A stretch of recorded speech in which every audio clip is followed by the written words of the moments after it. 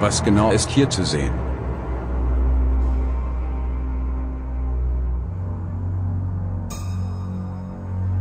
Darüber diskutieren noch heute Experten, wenn sie dieses Foto sehen. Ein Objekt in Form einer fliegenden Untertasse schwebt direkt über einem Hochhaus.